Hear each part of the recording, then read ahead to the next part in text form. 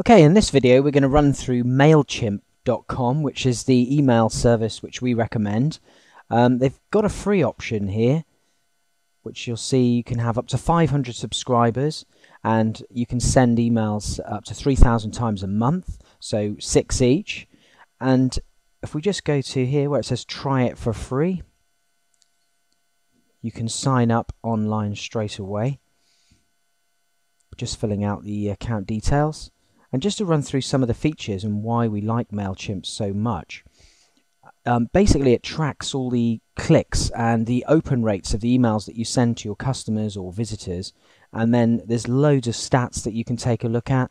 You can see whereabouts in the world people um, actually opened your emails and various other stats. Also, it gives you the ability to create um, some fantastic looking emails with HTML without having an awful lot of experience.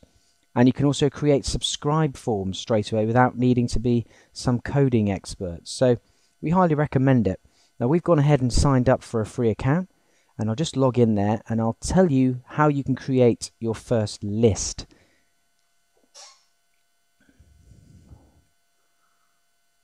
Okay, so the first thing you'll see when you get your account you log in is this screen here and you've got